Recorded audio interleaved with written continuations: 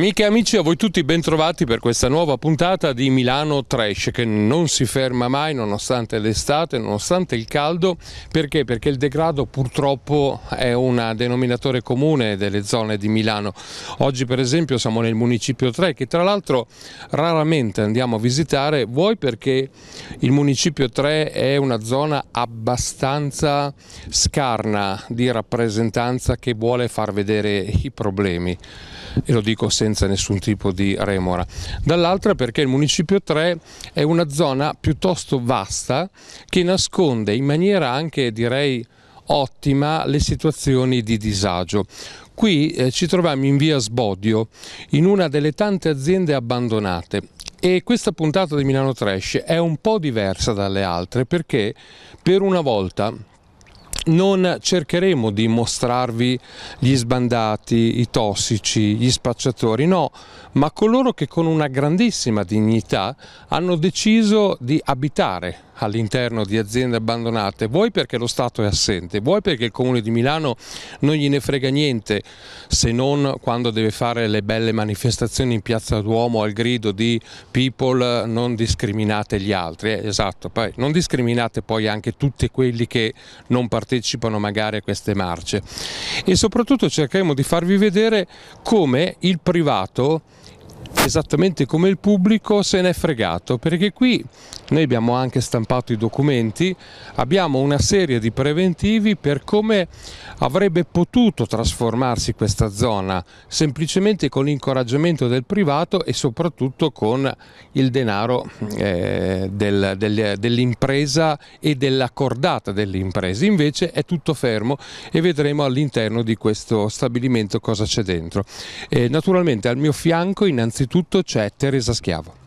Buongiorno Vladi, eh, hai detto bene, nulla è cambiato, questo terreno che è un terreno dove all'interno ci sono dei fabbricati a destinazione mista, è un terreno di circa 4.000 metri quadri, per l'esattezza 3.900 metri quadri. Oggi secondo il nuovo piano regolatore questo terreno potrebbe cambiare anche destinazione d'uso, potrebbe diventare eh, a destinazione commerciale, a destinazione alberghiera, eh, terziaria, però da 10-15 anni circa questo terreno e questi fabbricati sono sono completamente abbandonati. Ricordo che nel 2015 fu discussa e approvata nel Municipio 3, che ha guida centro-sinistra, quindi molto molto in sintonia con Palazzo Marino, fu discussa e approvata una mozione del consigliere Gianluca Boari di sgombero eh, di questi fabbricati perché erano stati occupati abusivamente e sappiamo bene tutti che occupare abusivamente questi fabbricati a parte essere legale è anche molto pericoloso per chi li occupa perché sono a rischio crollo, perché sono decadenti, perché sono fatiscenti. Dal 2015, dopo lo sgombero, qui il comune non si è più visto, non è pervenuto. Ora noi cercheremo di capire insieme allo staff di Milano Trash come sono andate le cose e che cosa si potrebbe fare per migliorare questa situazione e quindi riuscire a vendere questi fabbricati e riuscire a dare loro una destinazione valida, una destinazione con un uso socialmente utile. Esatto, la squadra di Milano Trash che ormai avete imparato a conoscere ed amare parlare perché? Perché c'è Chiara Perazzi, benvenuta. Ciao a tutti.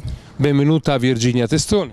Buongiorno a tutti. Naturalmente il benvenuto ad Antonio Simone di Italia Victris e all'inossidabile Maurizio. Noi adesso stiamo per entrare, seguiteci perché ci vorrebbero, io credo, almeno 4-5 puntate per visitarlo tutto, quindi cercheremo di fare una sintesi dello scempio, del degrado e come vi ho detto all'inizio del desiderio di riscatto delle persone che ci abitano.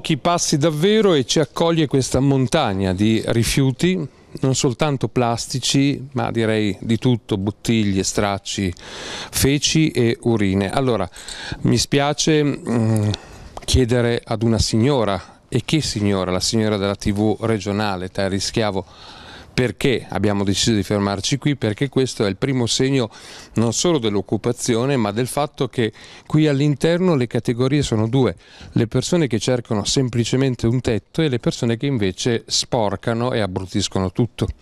Esattamente, a me non spiace mostrare quello che Milano Trash Upgrade mostra perché è la Milano che l'amministrazione comunale si ostina a non farvi vedere, si ostina a non voler far conoscere. Questa è la Milano all'altra velocità, non è quella Milano che va forte, quella Milano che aspira alle Olimpiadi del 2026, questa è la Milano degli invisibili. Qui dentro ci sono persone che meritano rispetto e che meriterebbero un supporto dalle, dai servizi sociali, un tetto sopra la testa e quindi un aiuto concreto concreto dal Comune di Milano, ma sono costretti a vivere qui dentro. Questo, come abbiamo detto, è un terreno con diversi fabbricati, un terreno che meriterebbe rispetto, quindi meriterebbe anche un sostegno da parte del Comune di Milano. Certo, è un terreno di proprietà privata, ma è un terreno che in 15 anni ancora non è stato venduto. Allora il Comune dovrebbe responsabilizzarsi e responsabilizzare per capire perché questi terreni vengono lasciati abbandonati a se stessi, non riescono ad essere venduti e diventano purtroppo ricettacolo di sversamenti di ogni tipo. Eh, presumibilmente anche tossici perché c'è un tanfo che voi dalle immagini non riuscite a vedere ma noi vi assicuro lo sentiamo e terreno dove gli invisibili trovano un tetto sopra la testa ma un tetto che è pericolante quindi io ricordo che anche questa è Milano io ricordo che anche qui nel municipio 3 a guida centro-sinistra ci sono gli invisibili e ci sono stabili pericolanti con proprietà private che devono essere vendute e il comune e il sindaco sono responsabili di quanto accade a Milano anche nelle periferie, non solo in centro. E tra l'altro, siccome mh, anche se io frequento poco i corridoi sacri del potere, mi riferiscono, mi riferiscono di frasi eh, strane, soprattutto del sindaco, della giunta, che dicono, eh vabbè cari miei ragazzi, però Milano è una metropoli e quindi qualche caso eh, si può trovare. Ragazzi, sono tre anni che Milano Trash va avanti settimanalmente a documentare quello che esiste. Cioè, ormai è una metastasi questa. Sì, è, è pericolosa e si espande, si espande sempre di più, è proprio come un cancro, perché se nessuno interviene, se l'amministrazione comunale non decide di intervenire, eh, questo problema dilagherà e mm, prenderà tutta la città. Ora, come ho detto all'inizio, il consigliere Lega Gianluca Boari nel 2015 presentò una mozione che venne approvata, ma dal 2015 ad oggi che cosa ha fatto il Comune di Milano per risolvere questo che effettivamente come vedete non è stato risolto? Che cosa ha fatto per tutelare e aiutare sostenere le persone che oggi vedremo e che vivono qui dentro, eh, la domanda di Milano Trash è la domanda che si pongono i cittadini ed è una domanda alla quale il sindaco Beppe Sala e la sua giunta dovrebbero dare una risposta. E infatti una persona, non dico portavoce, però comunque in rappresentanza degli occupanti, la vedo da qua, ci sta aspettando, andiamo a conoscerla.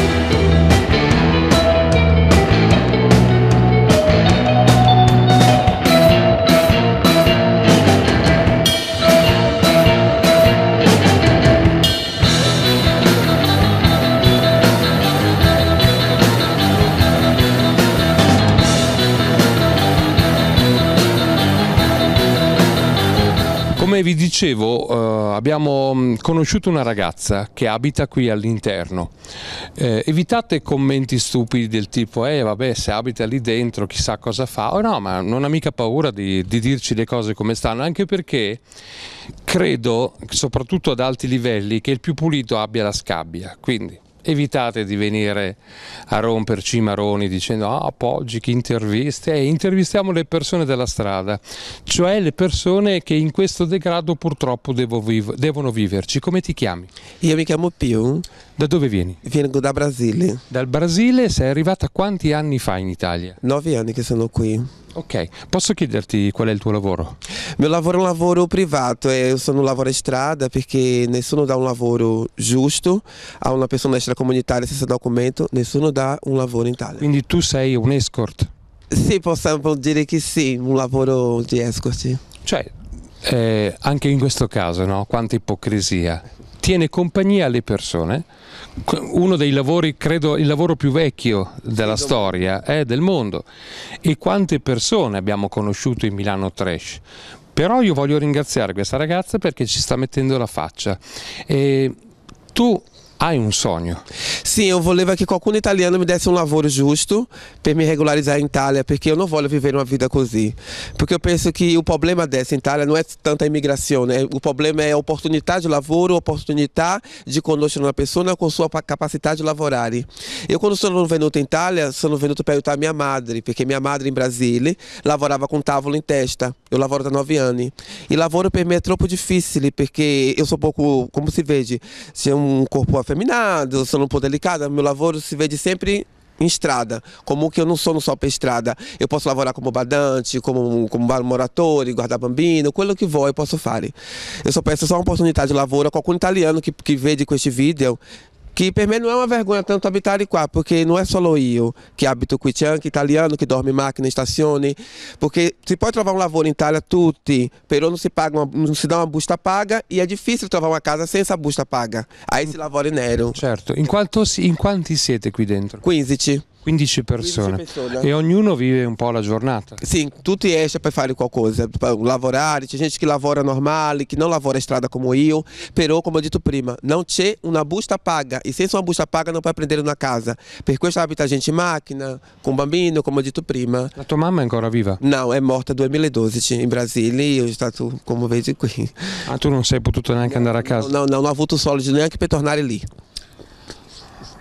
Allora, questa è anche la risposta a quelli che continuano a sostenere che Milano è razzista, ma no, assolutamente no. Milano è apertissima, soprattutto Milano è allergica alle persone che con l'antifascismo, l'antirazzismo, le solite, le solite robe, trite ritrite, ci hanno fatto una carriera, perché c'è gente che non ha mai lavorato un giorno, fanno l'assessore, poi fanno il parlamentare, poi fanno il ministro, poi fanno l'eurodeputato, avessero lavorato un giorno, no? Eh no, perché si riempiono la pancia di eh, stupidaggini come appunto ah, la marcia contro la discriminazione. Cominciamo a aiutare veramente le persone, non brasiliane, nigeriane, ghanesi o italiane, le persone, quelle che ci vogliono davvero mettere la faccia e faticare. Allora io ti auguro ogni bene, Grazie. so che tu hai fatto un appartamentino dentro, ce lo mostri? Sì, certo, va a venire con me. Ok, ti seguiamo.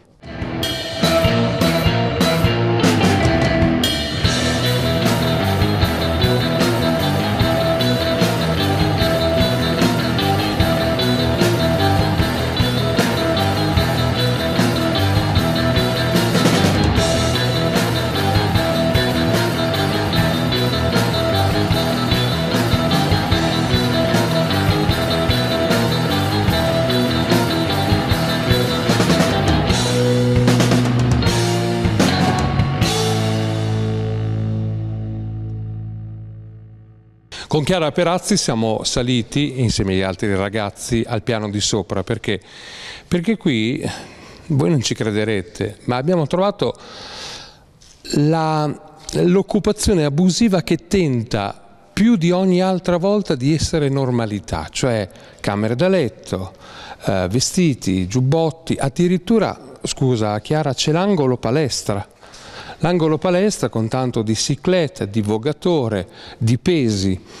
E anche questo è un segno inequivocabile, cioè sì, ok, la mia vita sta andando male, eh, vivo in una fabbrica abbandonata, però cerco di mantenermi in forma. È così Chiara?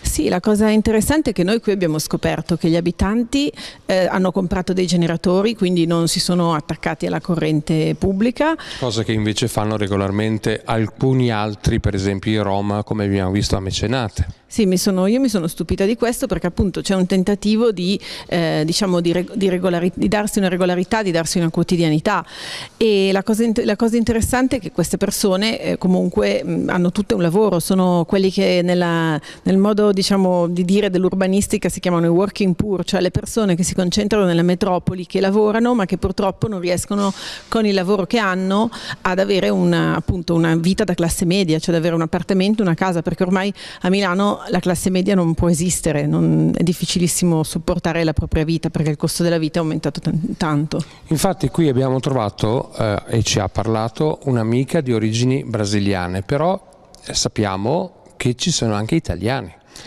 tutti tra l'altro piuttosto giovani. segno anche qui che sono persone che fondamentalmente hanno tentato, hanno tentato di avere un lavoro regolare, di prendersi una casa a livello di affitto regolare e eh, non ci sono riusciti.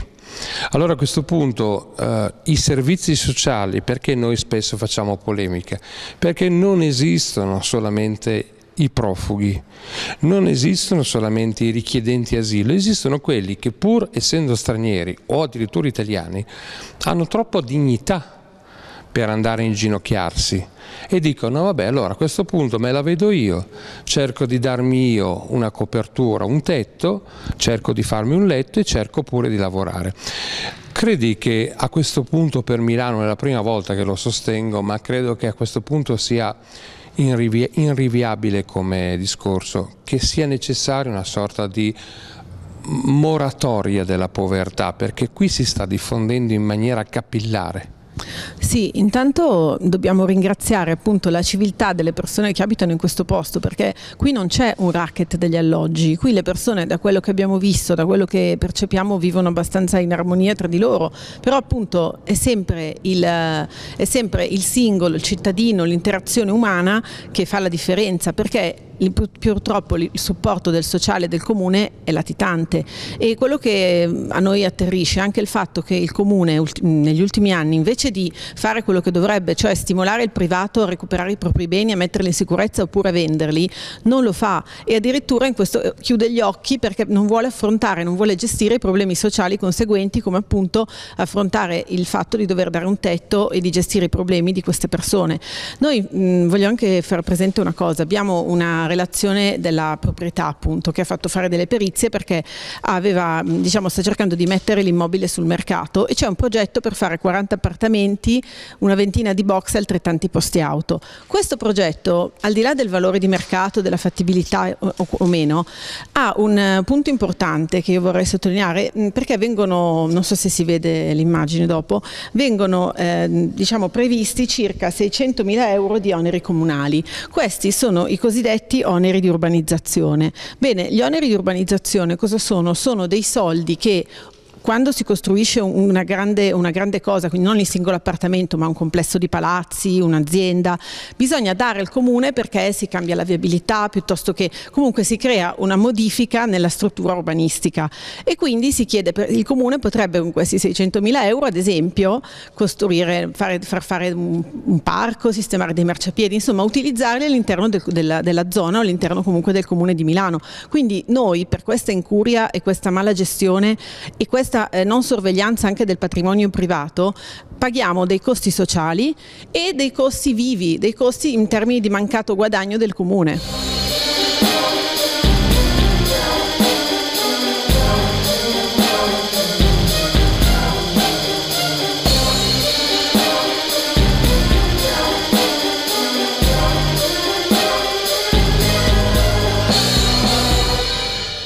Maurizio, come sapete, è il nostro esperto di costruzioni perché ha lavorato una vita in Italia all'estero proprio realizzando grandi impianti eh, di edilizia sia pubblica che privata. Quella che vediamo affacciandoci alle finestre è di fatto un'enorme area industriale dismessa, archeologia industriale. Possibile che a Milano si costruisca sempre del nuovo senza mai riqualificare il vecchio? E questo qua è da collegarsi anche a quello che è la vera ragione di vita, cioè i soldi. Eh, recuperare una situazione un, pregressa comporta utilizzare situazioni di risanamento, di, di bonifica. bonifica. di confisca, di, di stabilizzazione mm, per cui conviene sempre in base al quotidiano utilizzare aree nuove con le conseguenze che ormai stiamo vivendo. Questa archeologia industriale ricorda soprattutto lo spirito dei nostri delle persone, dei nostri predecessori, dei nostri avi che si sono industrializzati per poter permettere di vivere una vita agiata, vita che non so quanto potrà resistere ancora se andiamo con questo consumo di territorio e di tutto quello che ne consegue. Virginia, hai notato come a Milano ormai ci sono quei due o tre problemi che vengono cavalcati come sempre, mm, quattro ghanesi barra nigeriani in stazione che spacciano, che spacciano, che spacciano, no, perché così almeno cerchiamo di dare un nome un cognome alle cose. Poi ci sono, che ne so, le occupazioni degli zingari. Ah, ma non si possono chiamare zingari. Il problema è vostro perché loro ci dicono loro, noi siamo zingari, quindi pensate. Insomma, alla fine, al di là delle polemiche, due o tre problemi, tutto il resto non esiste. Noi ci occupiamo da tre anni di quelli che non esistono. Sì, effettivamente è proprio così, cioè, Vladimiro. Purtroppo è una situazione che stiamo continuando a vedere e pian piano che andiamo avanti stiamo trovando proprio veramente situazioni disastrose.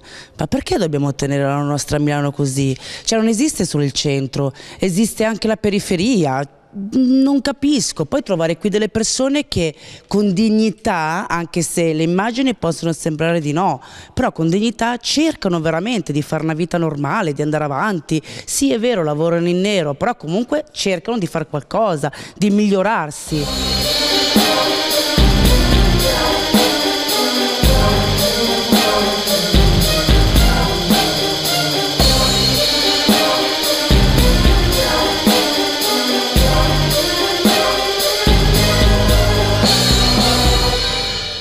Naturalmente c'è questo enorme balcone, dico naturalmente perché è tipico delle costruzioni che abbiamo uh, visto in questi anni. Grande occupazione del primo piano, del piano terra, ma anche enormi balconi che una volta evidentemente servivano all'azienda per poter esporre forse dei macchinari, forse una sorta di campionario. Oggi naturalmente tutto abbandonato, però intorno, intorno a noi ci sono ancora aziende e addirittura palazzi che sono abitati regolarmente.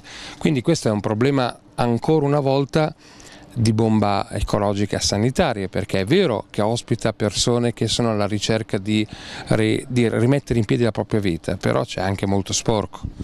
Sì, c'è, molto sporco e soprattutto c'è uno sporco che dura da parecchio tempo, ci sono disinteressati di tenerlo quantomeno pulito decentemente. Qui come hai visto vivono delle persone eh, che hanno oh, la dignità di, di, lavorare, non creano problemi nella zona, eh, si alzano la mattina alle sette e mezza alle otto e rientrano la sera il eh, pomeriggio tardi, scavalcando il cancello, quindi una persona per andare a dormire o per uscire a lavorare è obbligata a scavalcare un cancello, non esce normalmente come tutti quanti noi dalla porta. E perché? Perché l'amministrazione o eh, i soliti fautori della santificazione non sono altro che i, i predicatori della religione del 27 del mese che aspettano uno stipendio fregandosene della situazione altrui.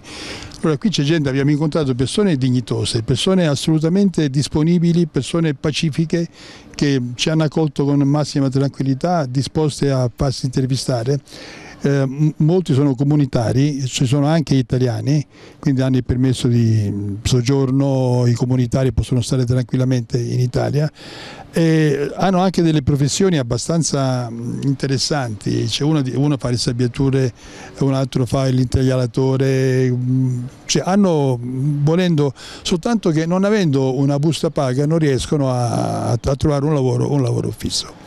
Il loro problema è che molti avevano anche una casa, anzi uno di questi ragazzi penso che per due o tre giorni andrà a riabitare in un appartamento, il proprietario di Papi, il cagnolino che abbiamo visto in giro prima.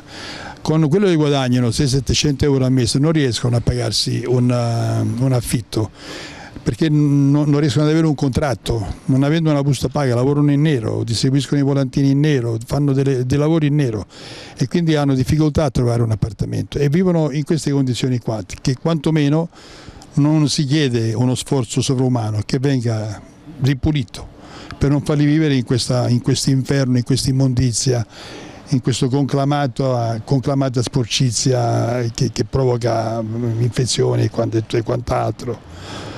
È un atto di umanità, come diceva un famoso personaggio che non voglio nominare, anche se io ho in grande considerazione, bisogna essere duri senza perdere la tenerezza. In questo caso loro fanno finta di avere la tenerezza ma sono duri e spietati verso queste persone che dicono di volere aiutare e invece non le aiutano affatto.